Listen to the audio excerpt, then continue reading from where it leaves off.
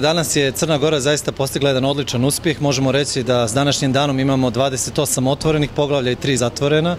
Ovom rezultatu svakako je doprinjela činjenica smo uspjeli otvoriti dva poglavlja. Poglavlje 1, sloboda kretanja robe, poglavlje 22, strukturni fondovi.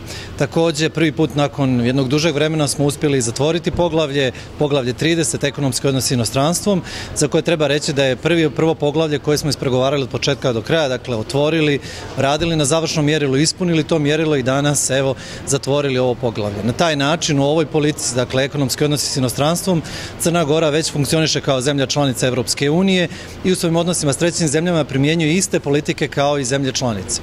Druga dva poglavlja koja smo otvorili danas su veoma značajne, veoma obimna poglavlja, prije svega jedinica, poglavlje koje govori o kretanju e, robe, je e, neslučajno prvo pregovaračko poglavlje pravne tekovine koje u stvari predstavlja osnov na osnovu kojega je i formirana ekonomska unija, odnosno današnja Europska unija i mogu reći da je da smo dugo godina radili na pripremi za njegovo otvaranje, današnjim e, otvaranjem otvaramo i put prema ispunjenju završnih mjerila i završetku posla u ovom zaista obimnom dijelu pravne tekovine.